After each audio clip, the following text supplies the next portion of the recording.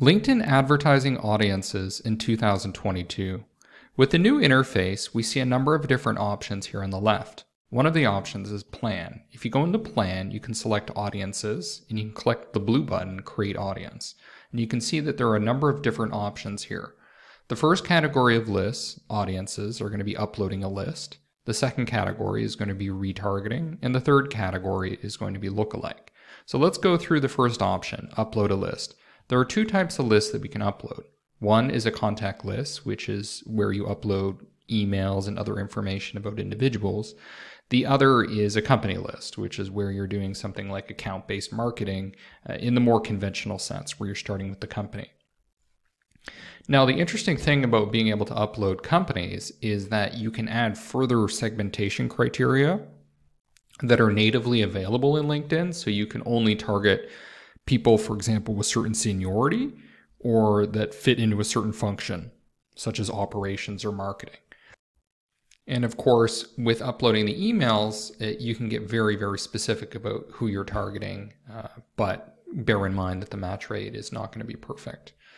So there are two different templates for uploading these types of lists. There's the company list template, and then there's the contact list template. So make sure that when you create your spreadsheet, uh, you're using the appropriate format.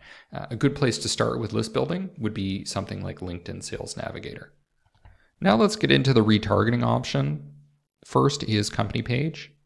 So we can target people who visited your organization page, who visited your LinkedIn page, or people who click the call to action button in the header of your LinkedIn page. So if you're trying to go a little more engaged with the prospects that you're targeting, uh, you would select this option. And then you can set the time frame between 30 days and 365 days. You can also retarget by people who attended or had some sort of involvement with an event that you set up. So, for example, you created a webinar that's educating people about AWS. Well, you could retarget the people that mark themselves as attending. Another important retargeting option would be the lead gen form. So we have two major categories here. It's anyone who opened the lead gen form, so they clicked sign up or they were they clicked uh, whatever your call to action was, and that's going to include people that actually submitted and people that abandon. So similar to e-commerce where you're focusing on cart abandonment, here you're focusing on submit form abandonment. The other thing that you can do is you can target people who uh, only submitted the lead gen form. So again, targeting people that are, are further down in engagement. And you can set the time frame of between 30 days and 365 days of engaging with that lead gen form. Another exciting retargeting option is based on video.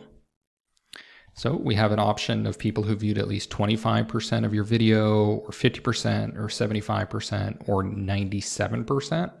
I think a big mistake that companies make when they do LinkedIn advertising is they try to make it so that you cannot access anything without submitting a form, without providing something such as your email address. I think a much more effective method is to get as many people as possible to be exposed to whatever content you're trying to educate them on. And the easiest way to do that would be something like, like video. And then if you're trying to narrow down to specific people to target later, you can do that with retargeting without the need to create some sort of submission form or gated asset. The last retargeting option that we have here is website. So we again have the option of days, so 30 days up to 180 days in terms of engagement, and we can specify which page that we want people uh, to have engaged with or which section of the website and retarget people. So, for example, people that visited your pricing page, maybe you're trying to get them into a demo or into a live conversation. Well, you could run an ad that, that drives people to have those conversations with your sales team.